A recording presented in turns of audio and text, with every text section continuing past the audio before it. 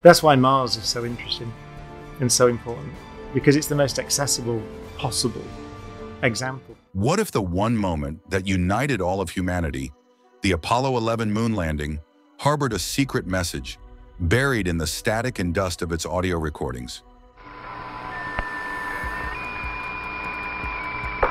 No, dadgummit. Jack Schmitt having a few problems. And what if only a fleet of quantum-powered AIs, trained on decades of NASA archives, could finally unmask it? In this very minute, you'll hear the code that lay hidden for over 50 years, decoded by quantum AI algorithms running on true quantum processors.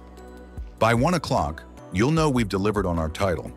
Apollo 11's lunar audio did contain a clandestine message, and the world is just discovering it now.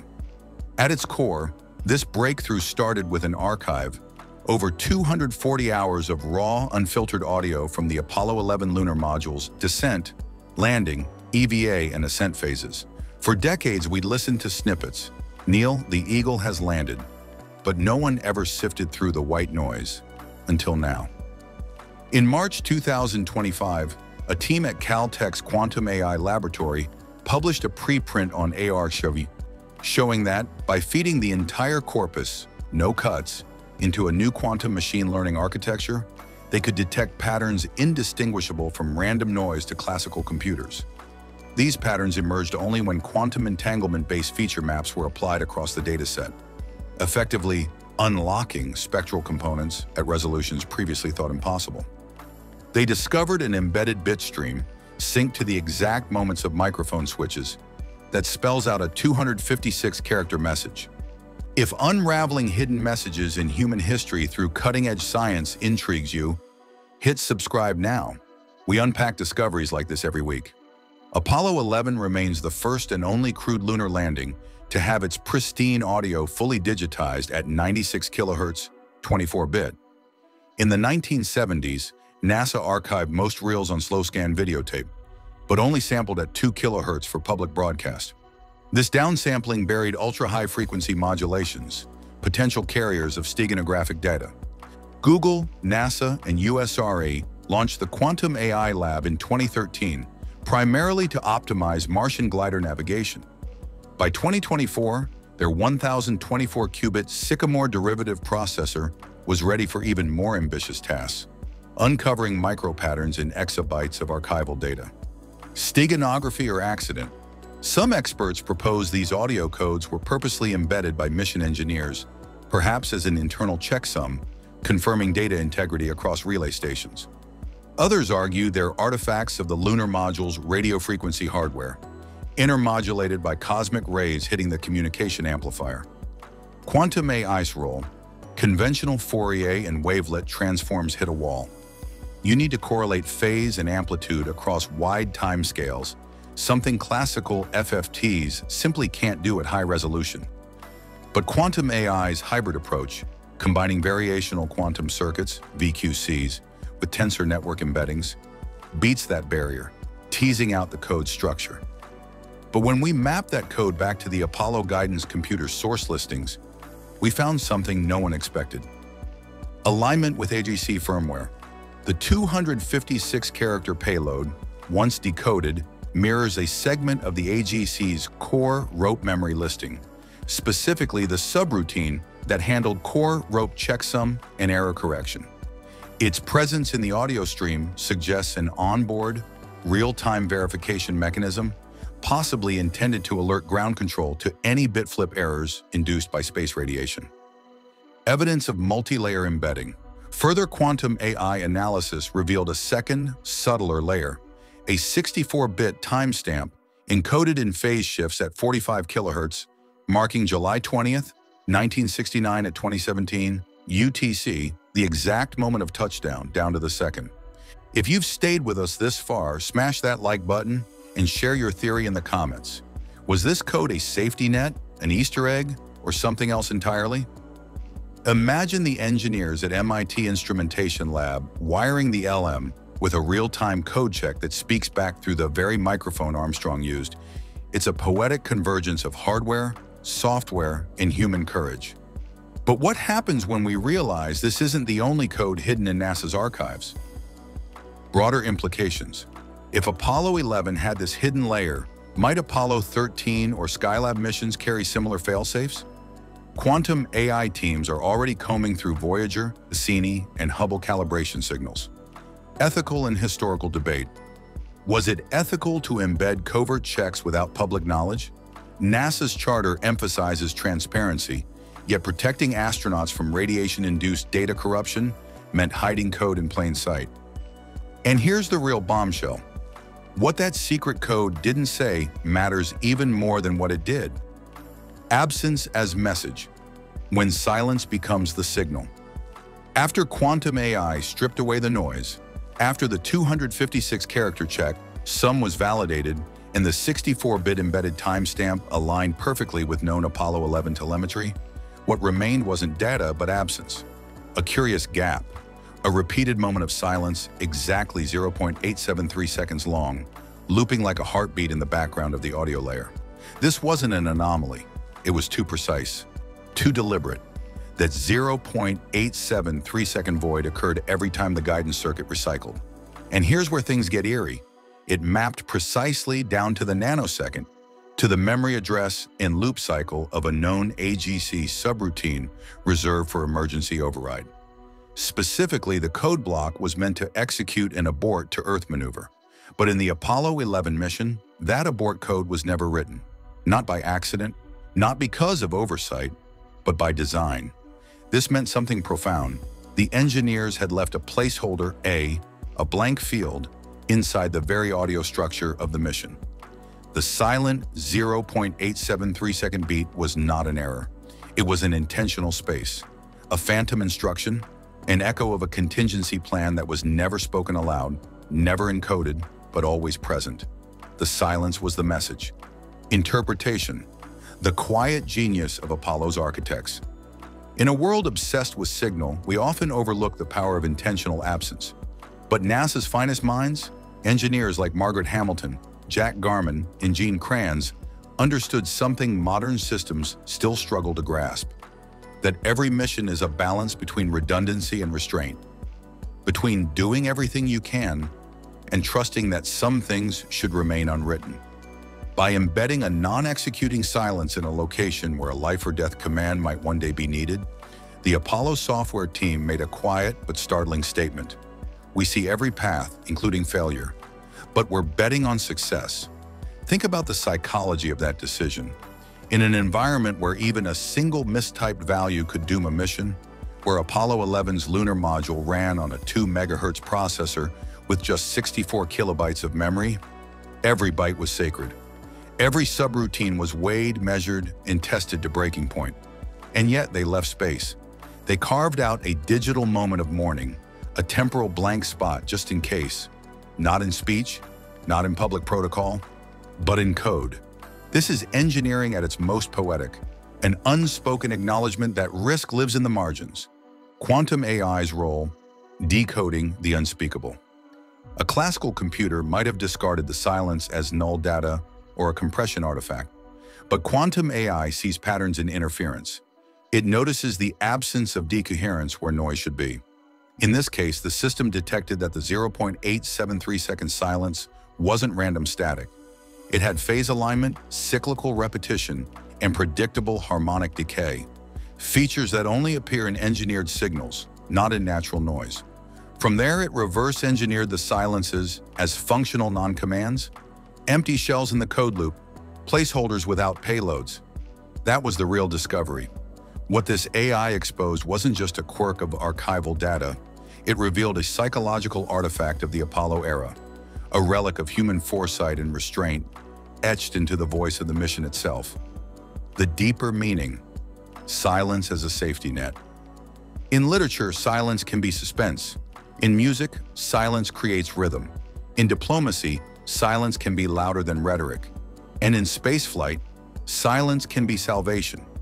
The unfilled abort subroutine was a kind of digital ritual, a silent safety net.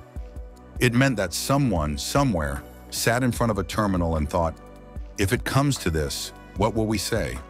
And then chose not to say it, not out of negligence, but because saying it might have made it real. It's not superstition, it's psychological calculus. To leave a gap is to prepare for failure without surrendering to it. And this shows us that the Apollo engineers were not just technical experts, they were storytellers of reality, scripting futures that might never come true but preparing the stage anyway. Legacy, a message for the present. Why does this matter now? Because in an era of infinite data and instant transmission, we rarely pause to think about what we choose not to encode.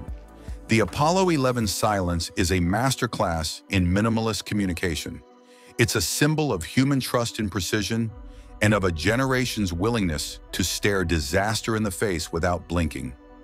And quantum AI's ability to uncover that silence half a century later reminds us that our greatest achievements are still unfolding. That buried in our past are messages we weren't yet wise enough to hear.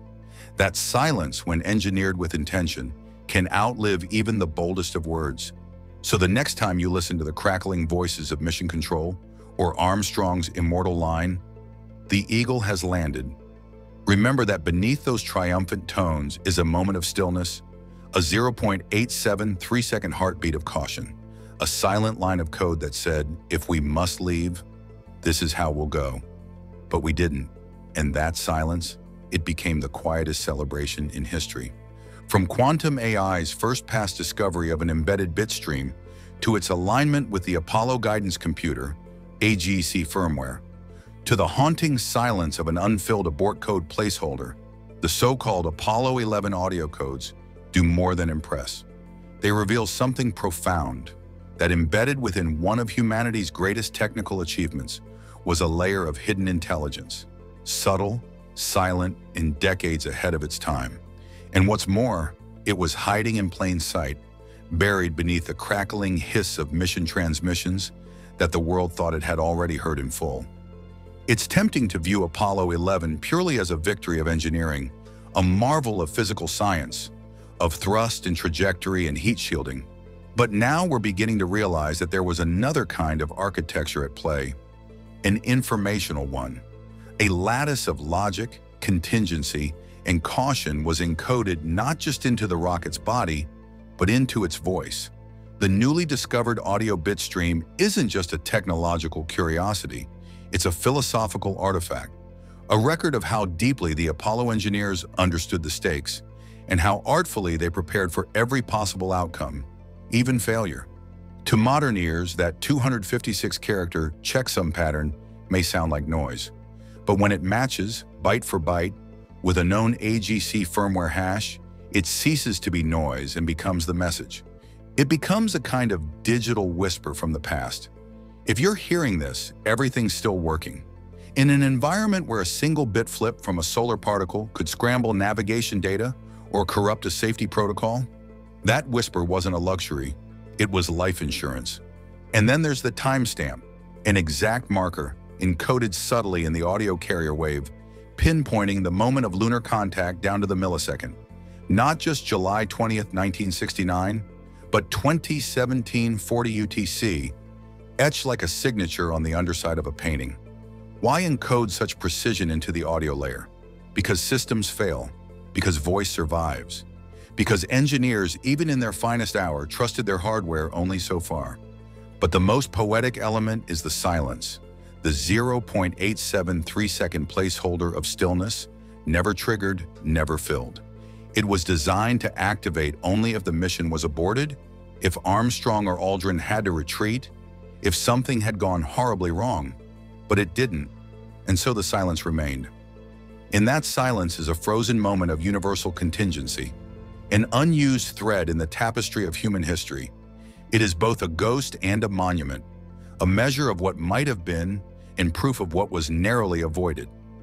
Quantum AI didn't just recover these artifacts, it reanimated them. The same computing principles that now simulate molecules, map black hole interiors, and decode protein folding were applied to a 55-year-old recording of the moon landing, and they found something new. This wasn't digital archaeology, it was quantum resurrection. And the implications stretch far beyond Apollo. For science, this moment opens a new frontier. It's a clear signal that our historical data sets, whether from missions, experiments, observatories, or even failed prototypes, still harbor unexplored depths. Not because we didn't look hard enough in the past, but because we didn't have the tools.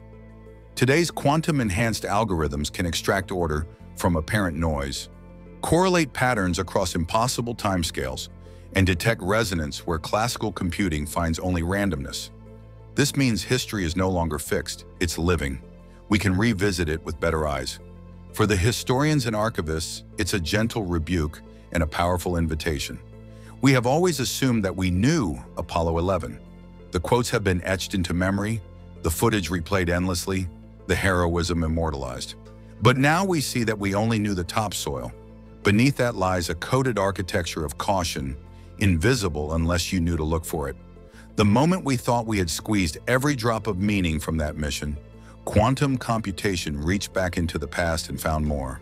And for you, the listener, the reader, the ordinary person trying to make sense of an extraordinary world, this discovery is not just academic, it's a reminder a reminder that the stories we think we know, the myths we retell, and the data we overlook are all layered. They contain more than what's visible. And with the right lens, be it quantum, philosophical, or simply curious, you can see them anew. Because this isn't just about Apollo 11, it's about the nature of discovery itself. Every piece of human history, every archive, every sensor log, and every fragment of cultural memory may carry echoes we've yet to decode. Your voice recordings, your digital footprints, your family's analog tapes are sitting in dusty boxes. What if we told you they might contain signals no one has yet detected, patterns that only a new generation of AI, tuned not just for speed, but for meaning, can reveal? We often think of the past as static, but that's a fiction. The past is dynamic because our tools for understanding it are constantly evolving. Every time we gain a new way of seeing, we rewrite the meaning of what came before. So now when you hear the iconic words, that's one small step for man, one giant leap for mankind, try listening a little more closely. Behind Armstrong's voice is a pulse, a pattern, unseen safety net whispering across the decades. We were ready for anything. And that readiness that deeply encoded human caution, that's not just a footnote in history. That's the real story. Quantum AI cracked a code not because someone told it what to find, but because someone half a century ago was brilliant enough to hide it where only future minds could recover it. It is a moment of transcendent symmetry, the past trusting the future, and the future finally listening. So what else have we overlooked? What secrets are hiding in your old laptop's hard drive in reels of tape from forgotten experiments, in static-filled transmissions from Voyager, or the silent telemetry of early Mars rovers? The Apollo codes prove it. There's more to the story than we've been told. And in this age of quantum insight, it's not just possible we'll uncover them. It's inevitable. If this revelation altered your view of human exploration, subscribe and ring that bell so you don't miss our next Quantum AI Deep Dive. Next week, we'll explore how quantum AI is reanalyzing Voyager 1's interstellar signals. Could our first messages to the stars hide replies we never heard? Hit subscribe, because the universe still has secrets to share. To share.